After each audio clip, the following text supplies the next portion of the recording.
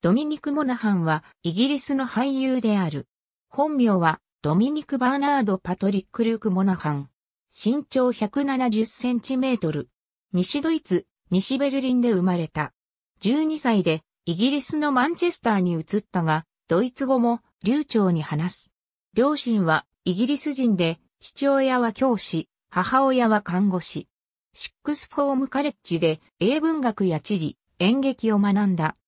1996年から1998年まで放映された BBC のドラマヘティ・ウェイントロップ・インベスティゲイツに出演してイギリス国内で知られるようになった。その後、ロード・オブ・ザ・リングにてホビットのメリー役を獲得し、3部作すべてに出演。同シリーズ終了後はアメリカの大人気ドラマロストやイギリス映画に出演した。環境保護に熱心で近年環境を守るためにインドに土地を購入したという。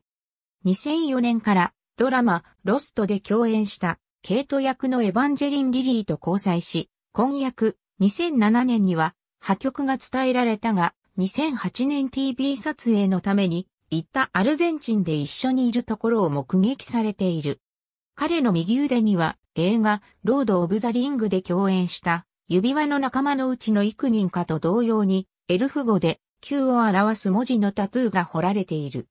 また、左腕にはビートルズのストロベリーフィールズフォーエバーの一節より、 Living is easy with eyes closed と、左の足首には二つの星のタトゥーが彫られている。ありがとうございます。